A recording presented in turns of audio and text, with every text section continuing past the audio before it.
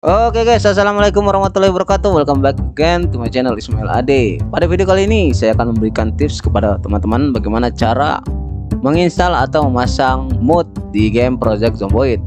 Dan untuk mod itu teman-teman bisa mendownload di Steam.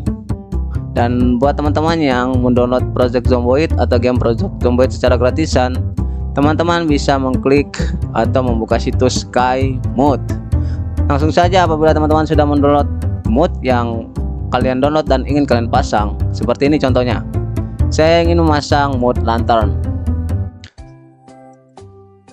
Di mood lantern ini kalian klik kanan setelah itu kalian ekstrak menggunakan aplikasi WinRAR.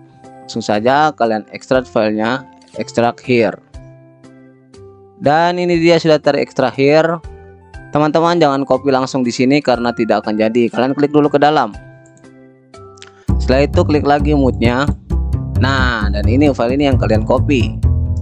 Langsung saja kalian copy file moodnya. Bisa kalian copy bisa kalian cut. Langsung aja kita copy. Sub sudah kalian copy kalian turun ke my computer atau di PC kalian klik data C.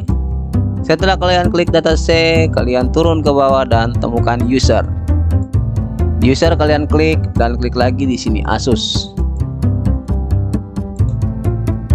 Aduh, aduh, aduh. kalian klik Asus. Setelah itu turun lagi ke bawah cari tulisan Zomboid. Nah ini dia.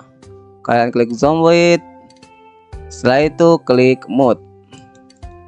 Dan kalian paste filenya di sini. Sap sudah. Sek sekiranya sudah kalian paste langsung saja kalian tutup dan buka game Project Zomboid kalian. Karena Project Zomboid saya dari Steam langsung saja kita buka dari Steam. Dan hasilnya akan seperti ini teman-teman. Kalian langsung saja klik mode dan otomatis mode lantern tadi sudah kita copy. Mana lantern? Lantern di huruf L. Nah ini dia teman-teman. Sudah timbul langsung saja diaktifkan. Oke caranya cukup simpel dan gampang teman-teman. Kalian tunggu hasilnya ini loading luar.